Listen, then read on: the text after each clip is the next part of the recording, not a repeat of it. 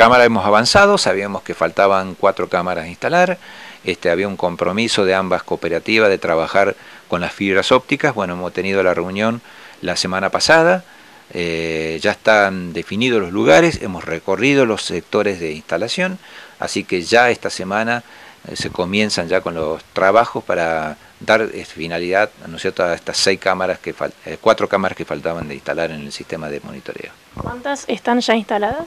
Tenemos dos, que esas van a continuar en el lugar que están, solamente la que está acá enfrente del municipio se va a cambiar de lugar, se va a llevar al centro de la plaza, como un poco más alta para tener visión de todo el predio y también toda la visión, ¿no es cierto?, de la avenida este, que da mm, la Julio Roca, que da al, centro.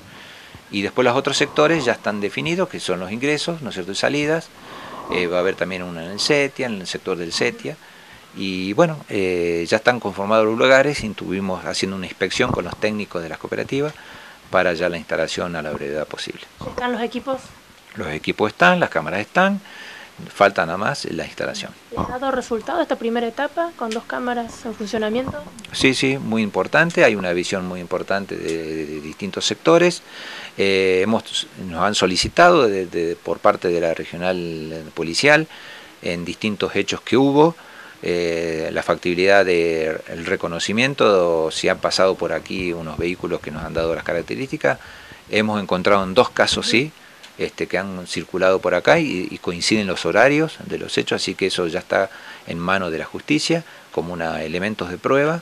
Y, también se ha, se ha encontrado o sea, este, un robo que hubo acá en la plaza eh, y mediante la cámara se ha detectado, ¿no es cierto?, quién fue el responsable, así que eh, todo esto de alguna manera eh, está sirviendo y, bueno, le, daremos la utilidad que corresponda y como bien se dijo en su momento, ¿no es cierto?, de prevención y las grabaciones quedan los 60 días este, resguardadas y únicamente sale ante una solicitud como del juzgado, ¿no es cierto?, que corresponde.